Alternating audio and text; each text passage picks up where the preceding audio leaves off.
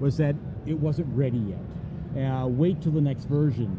Um, interestingly enough, uh, that version is supposed to, I believe that's supposed to be released here at uh, EMC World When was this report? When did this come in? about a year ago. And so it was not long, um, eh, maybe a little, maybe six, 17 months ago. It was as we were getting it Yeah. in, getting it tested. Well, would you, Dave, you we come on had some feedback from the practitioners in your community around Yeah. vPlex And- not really being ready for prime time. Yeah, as well, uh, we had a, a, a practitioner on last week at, at, at SAP Sapphire, VNX customer, not a not a vPlex customer, but he said something that I've heard from other vPlex customers, which is the GUI needs a lot of work. Oh. Um, Um, but that's- that was the one thing my, my engineers complained about more than anything else. They said, here, look at what I have on SMC. Look what I have with vPlex. You want me to do go from here to there? I'm not about ready to give this up. yeah, and you're using the command line interface at that point. Yeah. A- And, e- even the command line interface really wasn't much of a command line interface when compared to the. Um, I want to say that my engineers, uh, it's what Sim, SYMCLI. Yep. So Yeah, uh, okay. th- that, that, that, that I believe is what the command line interface that they use is. So but their, their report was that it just wasn't ready. So nonetheless, Secret CTO, you, you've been an observer of this industry again a long time. You've seen EMC.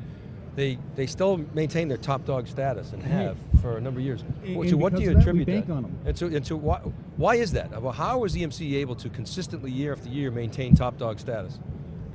I think that overall, they have a very wide array of products. And that very wide array of product set meets probably 100% of the customer base out there. Not all of the products do, but each area, ha- they have a good segment of products that can address specific needs for each individual uh, industry or uh, scale of business. Secret CTO, my last question for you is: What do vendors do that drives you crazy that you just wish they would stop doing?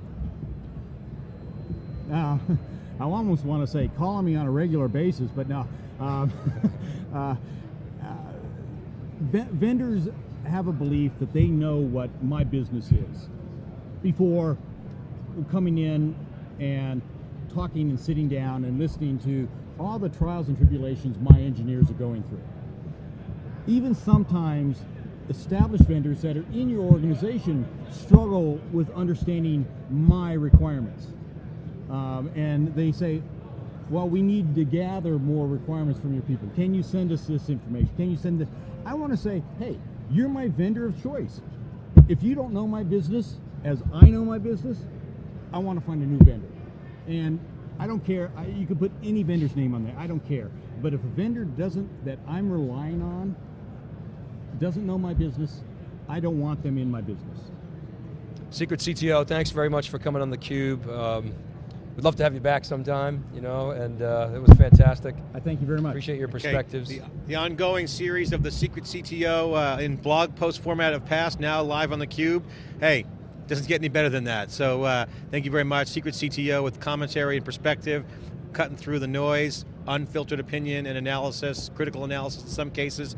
Uh, and, and complimentary of EMC in, in some ways too. So congratulations for that. Uh, appreciate it. We'll be right back with our next guest after this short